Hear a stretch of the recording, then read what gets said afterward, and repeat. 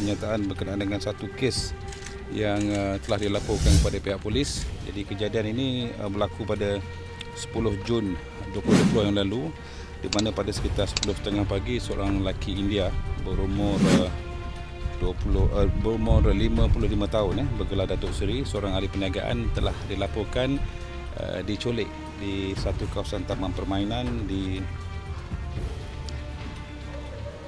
di Taman Permainan Jalan Persiaran Perdana Bandar Seri Damansara Petaling Jaya uh, dan uh, setelah laporan polis dibuat kita telah menjalankan siasatan dan uh, pada hari ini ya, kita telah recover apa ni mayat mangsa yang telah diculik itu yang telah dijumpai di Batu 27 Jalan Rawang Bestari Raya di Rawang Selangor.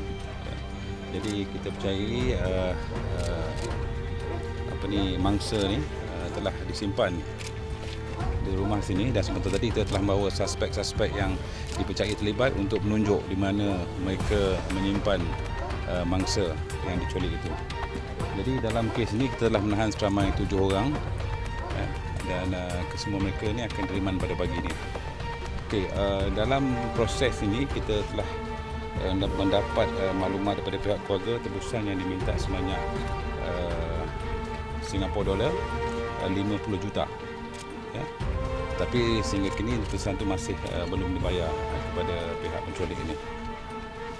Kita percaya setakat inilah daripada maklumat yang diberikan oleh uh, tangkapan uh, si mangsa meninggal uh, dunia dalam 3 atau 4 hari uh, selepas diculik. Uh, 3 atau 4 hari selepas 10 Jun tu. Dia dijumpai di uh, kawasan Beluka tepi Batu 27 yang disebutkan tadi. Uh, ditinggalkan macam tu je lah. Ya. Dan kita masih lagi uh, perlu menjalankan postmortem ke atas mayat ini untuk kita mengetahui uh, punca sebenar kematian. Uh, mereka ini terdiri daripada uh, ada lelaki India, ada lelaki Melayu dan juga uh, seorang warga Bangladesh. Mati dan juga uh, dalang kepada penculikan ini uh, memang kenal lah. Eh, uh, itu saya boleh katakan di sini. Lah.